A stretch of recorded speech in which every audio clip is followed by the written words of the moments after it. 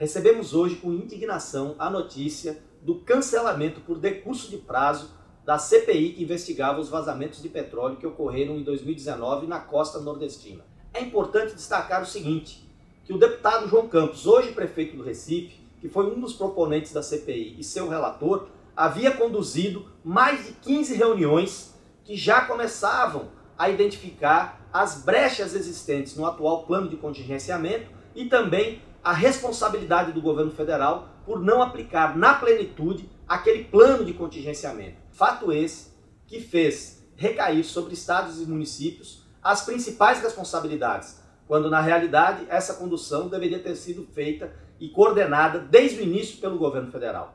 Qualquer semelhança com os problemas que vivemos hoje, com a pandemia do Covid-19, onde o governo federal não cumpre com suas responsabilidades, não é mera coincidência.